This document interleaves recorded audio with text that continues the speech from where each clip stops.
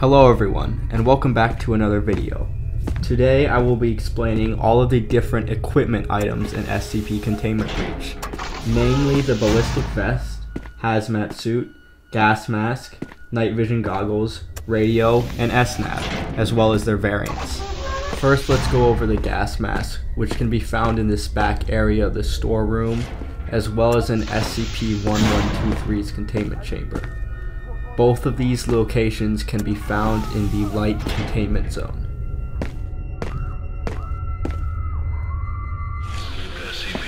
It can also spawn in a variant of the server farm in the entrance zone, although this isn't where you'll likely first get it, as it is important for traversing the heavy containment zone.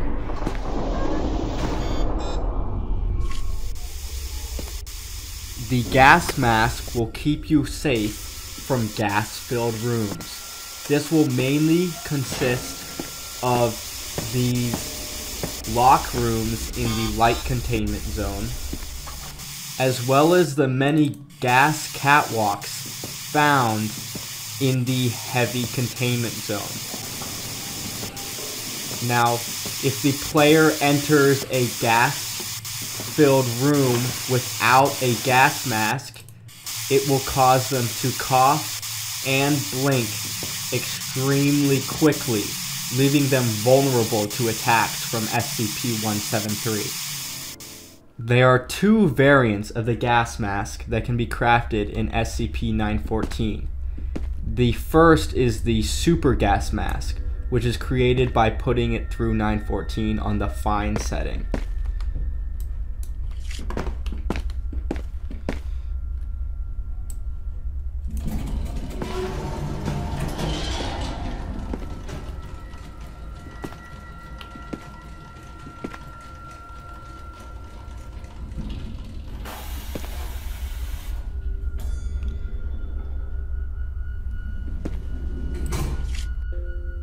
The super gas mask provides infinite stamina when worn, making it a very powerful item.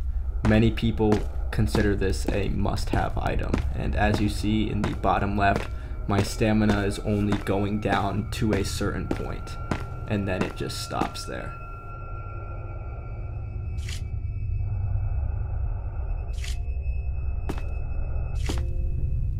The second variation is the heavy gas mask, which can be made by combining the gas mask with an ingot of SCP-148 and SCP-914. If you want to know how to get SCP-148, check out my video on interacting with SCP-035 or my video on every single SCP item in the game.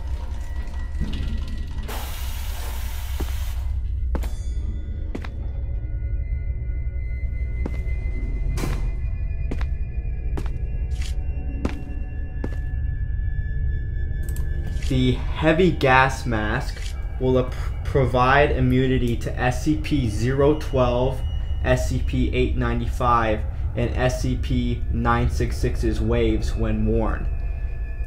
In my opinion, the super gas mask is still better as I consider infinite stamina way better than these perks. But if you want to make the heavy gas mask instead, the option is still there. The next item we will cover is the night vision goggles. The earliest point you can get it is in storage area 6, which can be found by taking the elevator in light containment. You will have to deal with SCP-939 down here, but other than that, they are pretty easy to obtain. You just need to go to this back tunnel right here. There are several locations in the heavy containment zone where they can be found. One of them is in SCP-895's containment chamber, which you will need a level 3 keycard to open. You can find it by going down the stairwell into the coffin room. However, I would not recommend this without SCP-1499 as going into the coffin room will spawn SCP-106.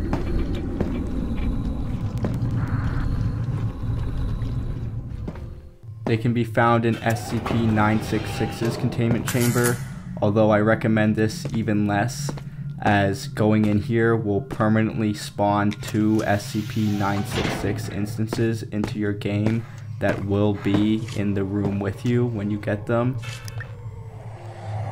Finally, for the heavy containment zone, they can be found in the generator room down in the maintenance tunnels.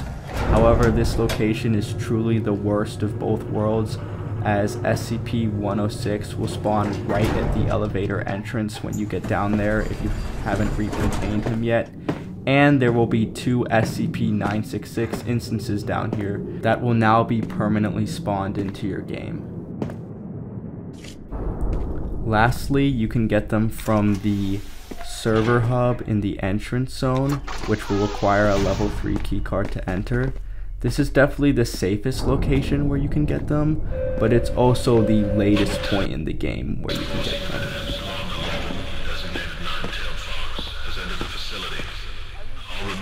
The night vision goggles will let you see farther and will let you see in the dark.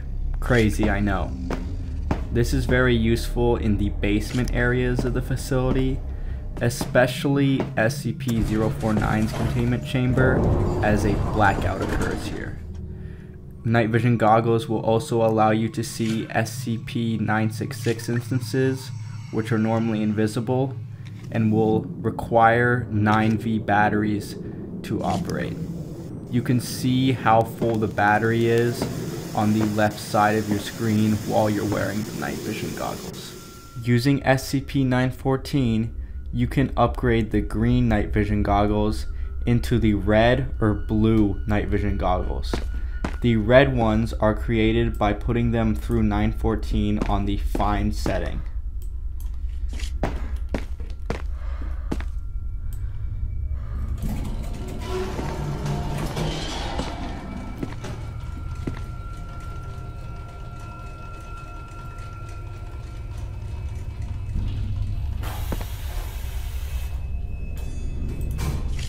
Now the red night vision goggles, as you will notice pretty quickly have unlimited battery. They will also provide slight resistance to SCP-895. The blue night vision goggles are created by putting uh, the goggles through SCP-914 on very fine.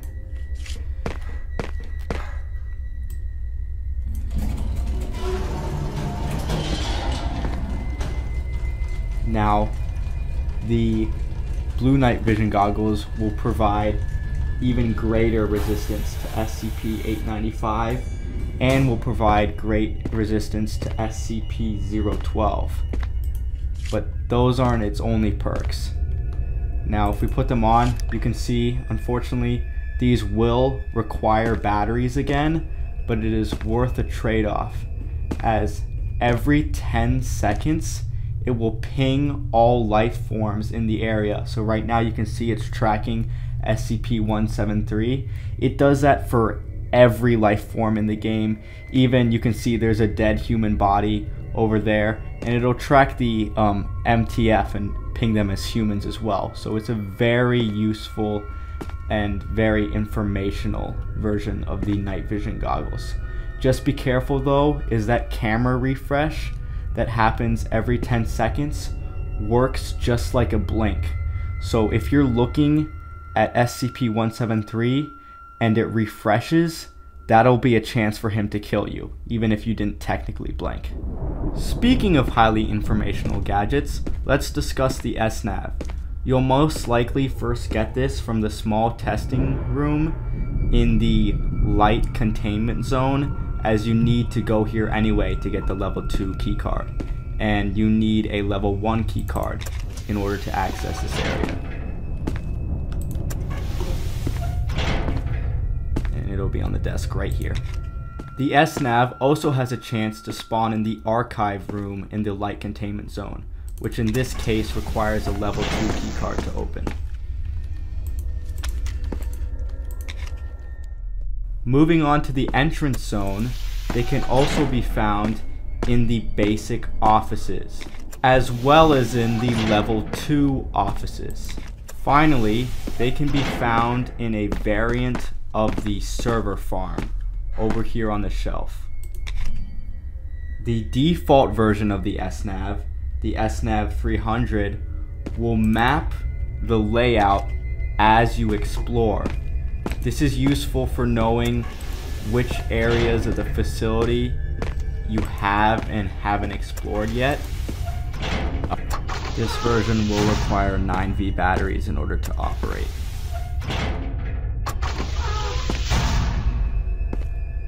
And as you can see, it's mapping out the facility as I explore. If you want a more comprehensive version of the SNAV, you can upgrade it in SCP-914 on the Fine setting to receive the SNAV 310, which will show the layout of the entire facility regardless of whether or not you've explored it. However, if you're going to choose this version, you might as well upgrade to the SNAV Ultimate, which is created by putting it through SCP-914 on the very fine setting.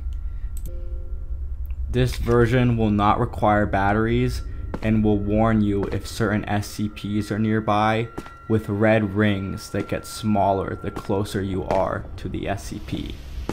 It will warn you against the four main SCPs of the game, those being SCP-173, SCP-096, SCP-106, and SCP-049.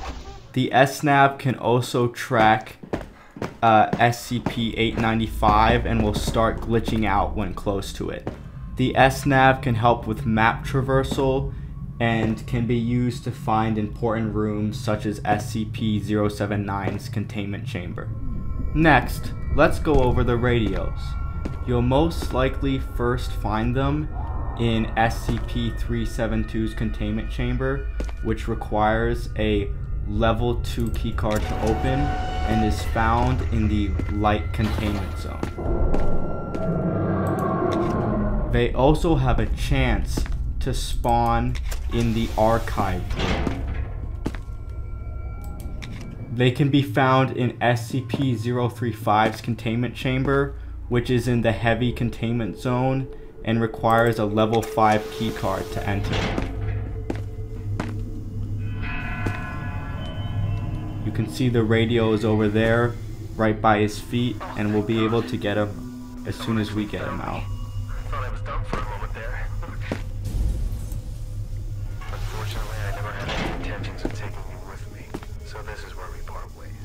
When retrieving the radio from here, make sure to grab it quickly as large tentacles will spawn in this room after you enter. The radio can be found in two locations in the entrance zone as well. The first is the head office, which will require a level 4 keycard to open. Finally, they can be found in the large office by going up the stairs into the room on the left. Radios can be powered with 9V or 18V batteries and allow you to listen on various channels. Although I'll be honest, 90% of what you hear is just useless comic relief Man, I wish we still had some of that 420J. It was so awesome. I still keep a plant somewhere, man. Hey, man, what if we gave some 420J to that freaky statue thing? Why, he's like already stoned. There are two situations in which the radio is actually useful, however. First of all, on channel 5, you can hear a conversation between Dr. Harp and Security Chief Franklin sometimes, in which Dr. Harp will reveal the code to his office, and that code is 7816, and it is the same on every seed, and in here you can find a med kit. Another thing you can do with the radio is put it through 914 on the very fine setting.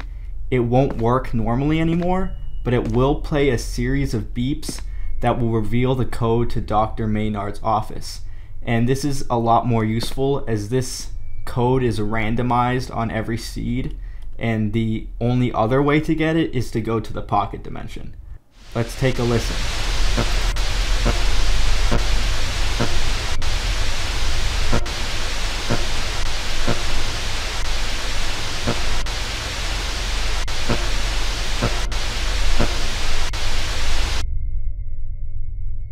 Sounds like the code is 4313.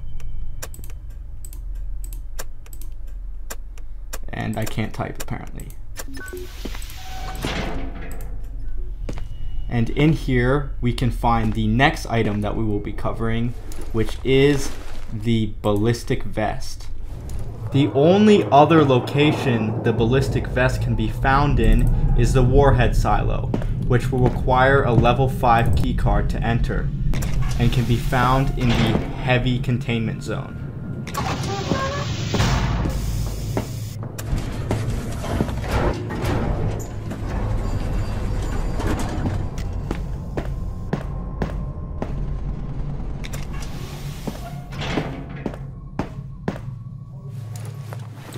Some things you'll notice immediately about the ballistic vest is that you can't, when you put it in your inventory, you automatically put it on um, and it lowers your turning speed pretty significantly.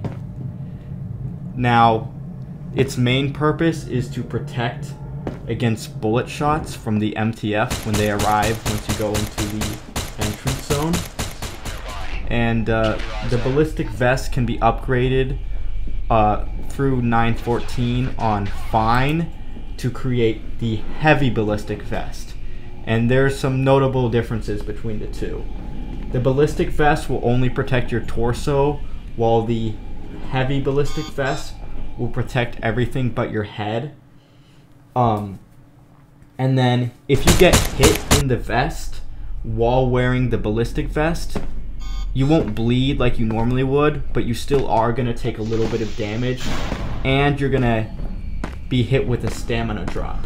But with the heavy ballistic vest, you only deal with the mild damage and there's no stamina drop. But the trade-off is that the heavy ballistic vest caps your stamina at 60%. Finally, we will be discussing the hazmat suit, which can be found exclusively outside of SCP-008's chamber. Now, you will need to recontain SCP-008 in order to beat the game. The problem is SCP-173 is usually on the other side of that glass and he can break through it.